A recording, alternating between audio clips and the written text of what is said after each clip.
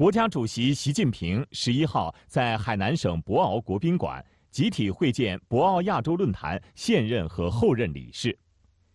习近平指出，博鳌亚洲论坛成立于一九九七年亚洲金融危机之后，反映了亚洲国家携手应对挑战的共识，顺应了区域经济一体化发展要求。论坛成立十七年来，立足亚洲，面向世界。为凝聚亚洲共识、推动亚洲合作、建设亚洲命运共同体发挥了重要作用。今年论坛年会围绕“开放创新的亚洲，繁荣发展的世界”主题进行深入探讨。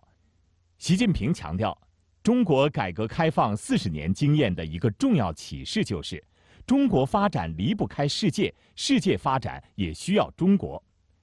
中国通过改革开放实现自身发展，创造了中国奇迹，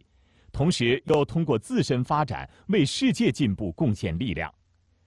中国将继续坚定不移走和平发展道路，奉行互利共赢开放战略，推动建设相互尊重、公平正义、合作共赢的新型国际关系，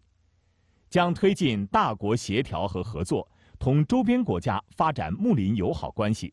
更加积极参与全球治理，更加有效同各国携手应对挑战，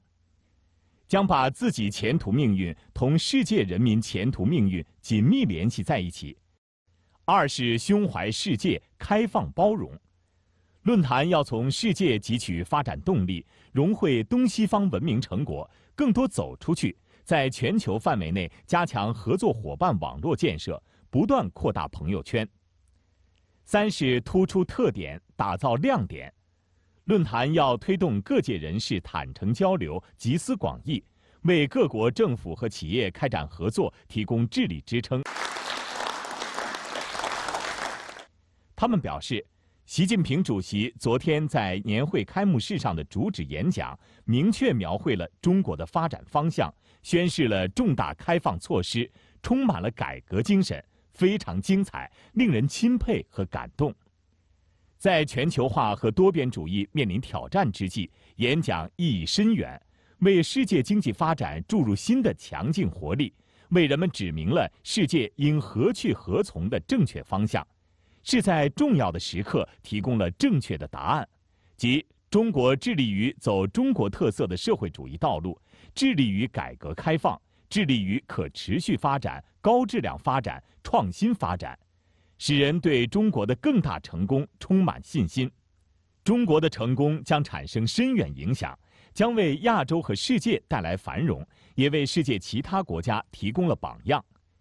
中国已是全球经济重要引擎，在应对气候变化等国际事务中发挥了重要的建设性作用。会见前，习近平同论坛现任和后任理事长、副理事长、秘书长集体合影。